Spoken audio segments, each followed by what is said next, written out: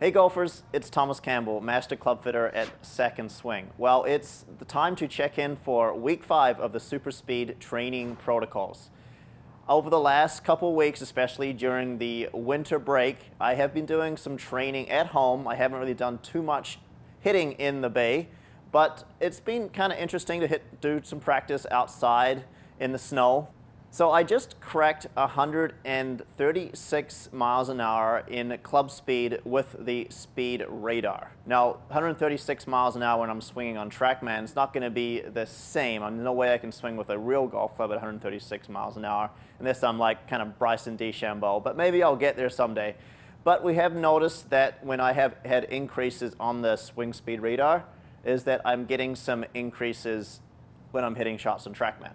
So we have gone in five weeks from 111.3 miles an hour as my average speed to 115 miles an hour as my average speed. I've cracked out at 116.3 as my highest club speed so far. And today I'm hoping maybe I can get to 117. As I mentioned, I haven't really checked in here for a week because I've been doing it at home and I haven't had the chance to kind of hit some shots, but I'm really excited to see if I can see any more increases here I feel like I've been swinging faster, so I'm really excited to kind of take a look at uh, the numbers and kind of see what the, everything's going to tell us. So I'm going to go through the training proto protocol again. This is week five. Super Speed would recommend six weeks in training protocol number one. So we've got one more week here to go with me swinging three swings forward and back, step through, and then finishing off with the uh, real, real 100% golf swings here as well. Before I do that, I do ask that you do subscribe to our YouTube channel.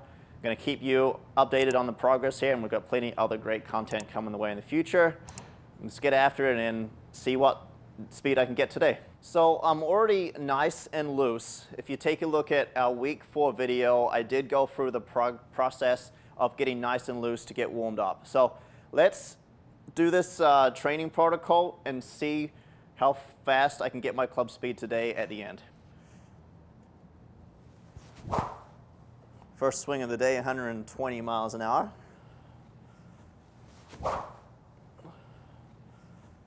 One twenty-one.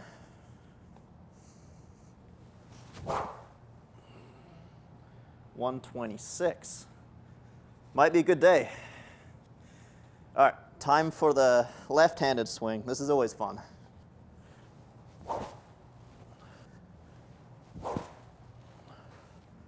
Wow, that's pretty fast. 110. 111. The, uh, the left-handed swing is getting faster and faster. First started out doing this in week one, I was about 85 to 90 miles an hour. Now we're seeing some really big increases in my left-handed swing. Moving on to the medium stick.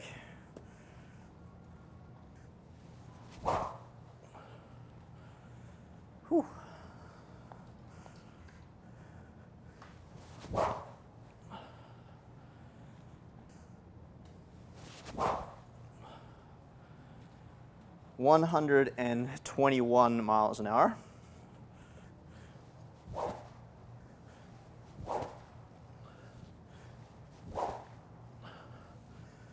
One oh nine. It's pretty good. It's pretty good left-handed. And then the heavy stick.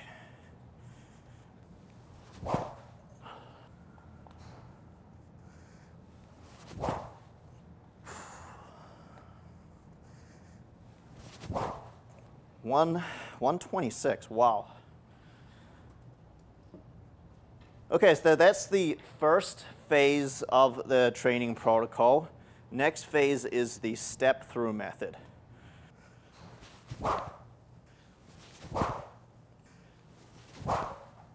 One hundred and twenty-two miles an hour.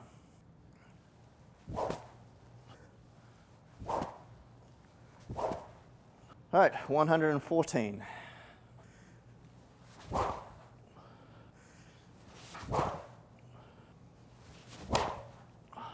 Make sure you don't catch the ground when you're doing this. That could have been really bad.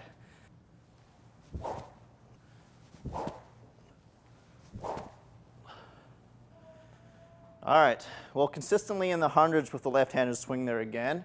As I mentioned, make sure you don't hit the ground. We don't, definitely don't want to hurt your hand or break, break the uh, speed stick system at all.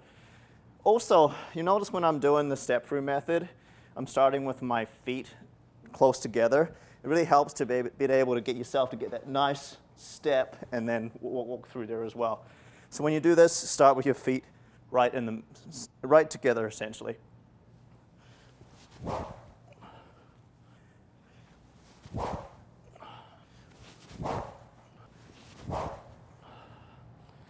All right, 114 with the red.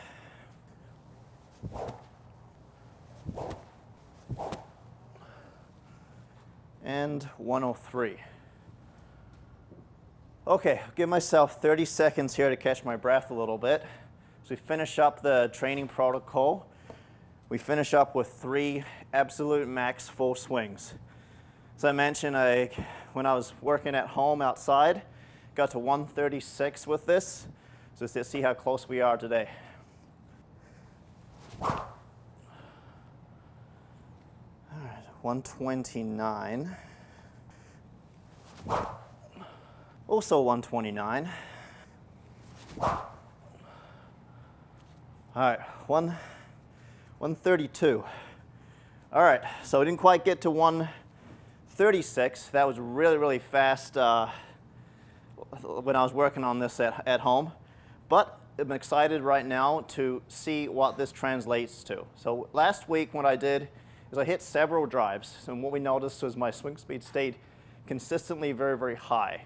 Didn't really maybe get too much faster, but it was really consistent on those several shots that I hit. So that's hit several drives now, and let's take a look and see if I picked up any more distance.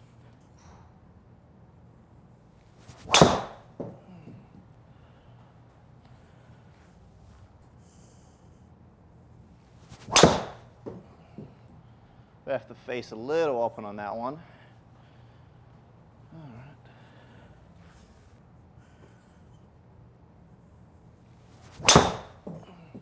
That felt a little faster. There you go. Well, that's the furthest drive I've ever hit. 333.4. That is absolutely smoked.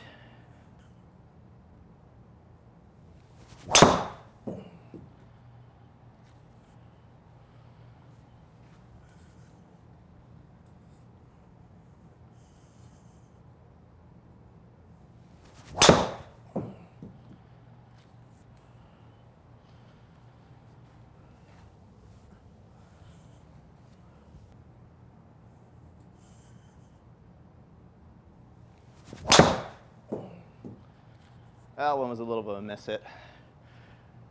What a great miss hit though. That one felt like I did not catch the middle of the face. My ball speed dropped down. It's kind of interesting today that my club speed has not really got to 116. Now, that is actually very, very accurate with the super speed training protocol system. There is uh, a good chance that super speed, if you, if you look through their, their training protocol, their recommendations, they do suggest that you will experience a plateau per se in your, in your, in your speed. Now, eventually then you'll plateau and then all of a sudden you'll get another little jump there again. But what we did notice today is I did generate my furthest distance I've ever hit the ball, but at 333 yards. It's quite incredible. And that's because all the other numbers were more optimal when I first started out doing this training program, I was hitting the ball very high. So I was hitting it with a lot of speed, but it was high and spinning a little bit spinnier. That one that I really, really smoked, that was in the optimal window. I think I believe it was 108 feet in the air and a 36 degree landing angle with the driver. So that was really kind of optimal. So I'm going to finish off, trying to hit a couple more, see if we can get that speed up there today. But what we have noticed is it uh, just, it's just plateaued just a little bit here. And that is exactly what I would expect using this training protocol system. Something more to kind of push myself a little bit harder as we try and search for a little more distance.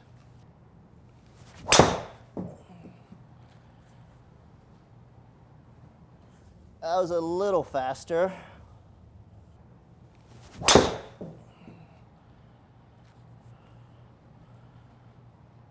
Yeah, it's, it's, it's not there. One, 115 is kind of the, the highest number we got to. I do want to just bring up that one shot that I did hit the absolute furthest, so I am still progressing in my absolute furthest drive that I ever hit. And that one was shot three. So we'll notice there my club speed was 115.4, which is one mile an hour slower than my absolute fastest club speed that I have picked up so far in the training program. It is still four miles an hour faster than where I started, but the big, big increase here was total distance because of my height at 108 feet in the air and that landing angle at 36 feet in the air was more optimal. When I was the first few weeks, so I was adjusting to my swing speed a little bit, I was still hitting the ball fairly high.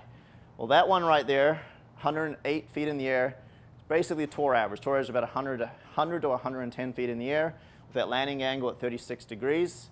It's the reason why that one went the furthest because all the numbers were very, very optimal right across the board there too. So may not have picked up more club speed this week, but I did pick up more distance. So more distance is obviously the end goal. So the fact that 334 is my next number to beat. So thanks for watching today. Really been exciting these first five weeks. We've got one more week of training protocol one left. Looks like we just reached a little bit of a plateau here. That is completely typical with the super speed training program. Maybe next couple weeks it may see a little bit more speed, but we are definitely on progress to hit the ball even further. So 334 is my new target to beat for the following week. Thanks for watching.